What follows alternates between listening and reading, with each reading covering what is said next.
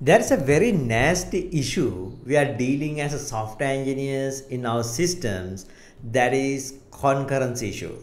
So it's really hard to debug this and really hard to even predict this. This is caused by concurrency issue because I have seen some cases which happen in a microsecond level.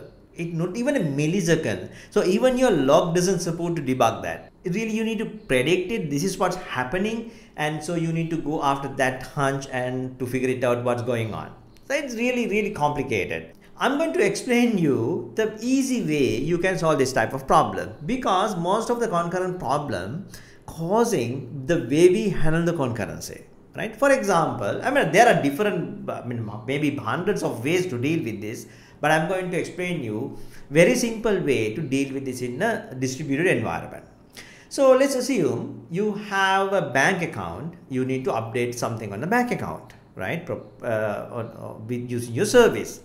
So as long as you have a one service, this is perfectly fine and working really well because you can use in a status variable or something like that and you can deal with it right so that is why usually in a qa environment also we don't find these type of concurrence issues because number of requests are limited and most of the time we don't have a multiple scale um, situation in the qa environment but when you move into production, maybe 200 instances are running from the same service. That means 200 pods are running. So that means there's a chance same method executing in the same given microsecond in 200 times parallelly. Okay, parallel 200 execution happen on the same method in a given same microsecond. So now the uh, problem happens. Let's let's say you have a one two three is your uh, account and then the pod 1 is accessing the same account trying to update something and then same time uh, the pod number 2 is trying to do the same thing on the same account now the problem is to how we can detect someone else is also doing the same thing. The easiest way people come up with they use the redis key distributed redis key. So they like say put a uh, they go and see the redis. Hey do you have a key from 123 right? 123 is our let's say object id id of the account which has to be unique key right? So now you're going to see whether you have a key from that. The redis says no then give me a put, write this key.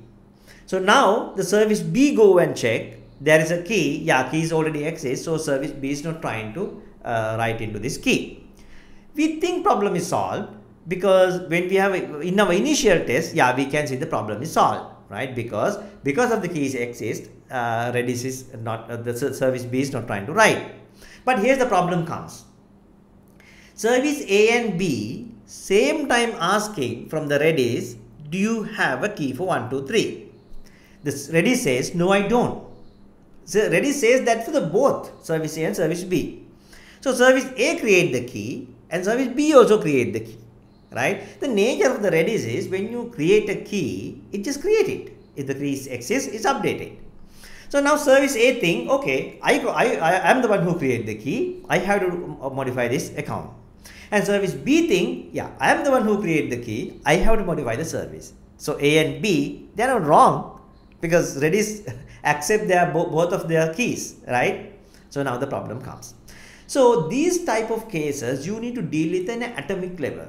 That mean you go from, you ask from the Redis and come back with the results and you go and create the next thing. This millisecond, microsecond of time, maybe nanosecond of time can create problems because someone else may be there before you go back, right? Before you check and you create that time slot, someone else may occupy.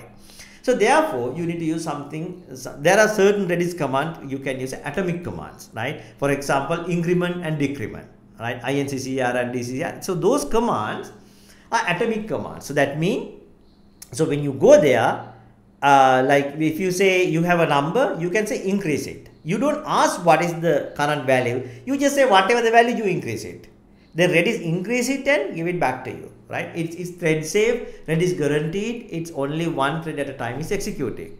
So likewise, there is a command called set nx. Set nx mean set if not exist, right? So with that, what it does is you are saying, let's say you are you are, you don't use the classic Redis key value command, you use a set nx command.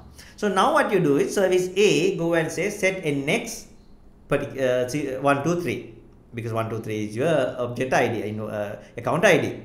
So when you say if the if the uh, service A is the very first one, it says yes true.